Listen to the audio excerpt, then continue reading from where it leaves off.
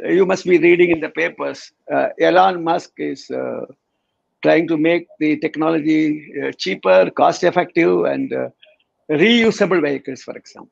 Yes. Vehicle, see, reusability comes in the picture only to reduce the cost. See, we were very cost effective. I, I told you our cost is one third. Is purely because we applied such techniques so that we were we were taking shortcuts. We were trying to establish extrapolation, etc. For example, one typical example I will give you: we avoided putting up a high altitude facility, which would cost us something close to 100 crores and three years of time.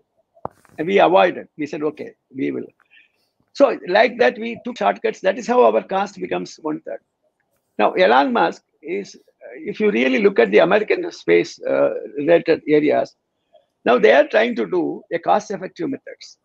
They are trying to go for uh, reusability. They are trying to go for, uh, for example, even now they are trying to do smaller satellites, something in the order of about 25 kg satellites.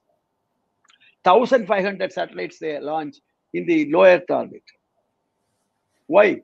Because you don't need that much power. So it is something like, uh, for example, somebody else, I think it is Boeing, uh, no, Amazon, uh, yeah, I think one of them, they are taking the uh, rockets in an aircraft at an altitude of 80 kilometers or 70 kilometers, and from there they launch. So innovative technologies are coming in the picture.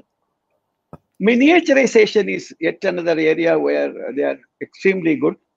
The smaller satellites are doing very well because of the miniaturization.